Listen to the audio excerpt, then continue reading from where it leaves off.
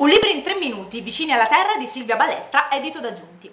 Marche, Umbria e Lazio sono loro le regioni colpite dal terremoto, tanto da quello del 24 agosto 2016 quanto da quello del 30 ottobre 2016, quando alle 7.40 del mattino la terra ha iniziato a tremare e la scossa ha raggiunto magnitudo 6.5. Un centro Italia stretto nella morsa dell'angoscia, abbiamo pianto 299 vittime, la terra continua a tremare e chissà quando potremo parlare davvero di nuova vita per tutti quei paesi che ormai non esistono più.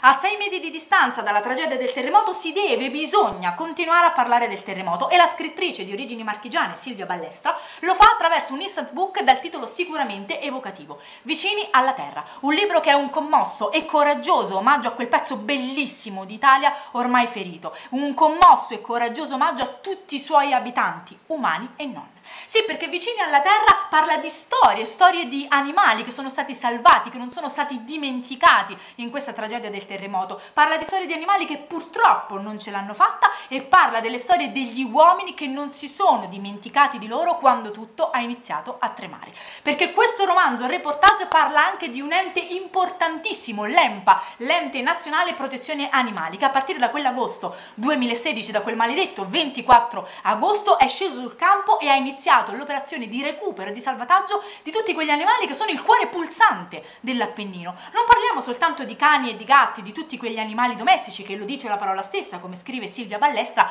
sanno di casa, sono un ricordo, sono compagnia per tutte quelle persone che purtroppo una casa ormai non ce l'hanno più. Si parla anche di altri animali, le mucche, le galline, i cavalli, le pecore, tutti quegli animali che costituiscono un'importantissima, fondamentale risorsa per l'economia dell'Italia centrale. Un'Italia centrale che vive soprattutto di agricoltura e di allevamento.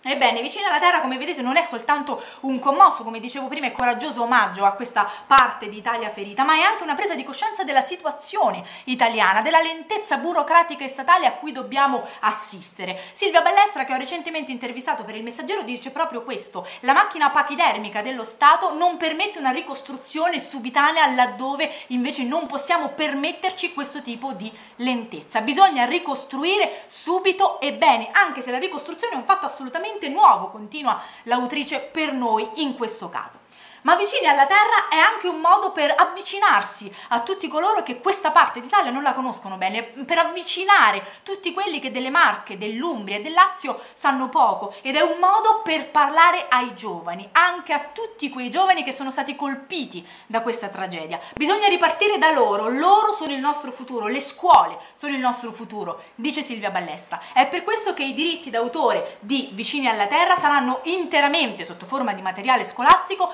devoluti e donati alle scuole dei centri colpiti dal terremoto. Dunque non mi resta che augurarvi un'attenta e commossa lettura di Vicini alla Terra di Silvia Palestra.